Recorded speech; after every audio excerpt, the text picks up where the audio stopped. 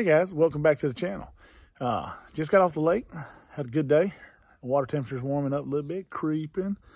Ain't gonna be long, these fish start start moving up, but I was out in the middle, uh, doing some live scoping, uh, doing a little bit of Alabama rig fishing, using some jerk baits and a hair jig, things like that. But here's what I got.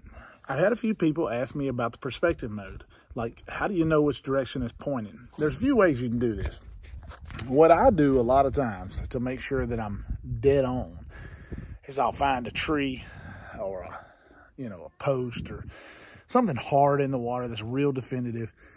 And what I do is I'll get right in front of it, line up my arrow or my cone there and make sure I'm perfectly straight. And if it's off uh, one direction or another, um, you know, I'll adjust it slightly. But as a whole, I'm going to give you the pretty, this is pretty close. This is pretty much dead on money uh, in terms of which direction your transducer, because you can't just flip it up and turn it up. It, it don't work quite like that. Um, so let's take a look at it and let's get an idea as to where everything needs to be faced. And then I'll give you a little trick, a little tip after that to make sure you got it right. Okay, now here we are. We're gonna assume this is straight to the front this way. If you'll notice, um, you can't use this edge or the front edge. And if you've got the sticker on it, you just line the perspective mode up pointing forward and it's pretty dead on. But the way you 100% know that it's straight, and I'm gonna flip this from the underside and look, this right here is the middle part of the beam. Let me see if I got my finger right.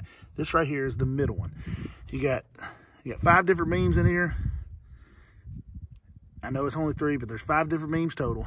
But this is the middle section. This would be uh, the down reading. But that is, if you get that one perfectly perpendicular to this, you pretty much got it. it. That is pointing perfectly forward. But this is what it looks like from the top, frontwards being this way. If you take a look at it, you can see it's um, kind of, you know, you can't judge by this edge or the back edge or this side edge or anything like that. You have to judge by, you have to judge by just, you know, I, I know with the sticker on top, I just line the sticker up straight, pretty straight. But if you don't have a sticker, you can take this edge right here, make sure it's perfectly perpendicular to this part right here, and you have it perfectly straight. I hope that helps. If it doesn't help, uh, I'll try to figure out a way to do another video to help you out. But this is what it is. So you can take this picture right here and kind of realize that, that is straight ahead for the perspective mode.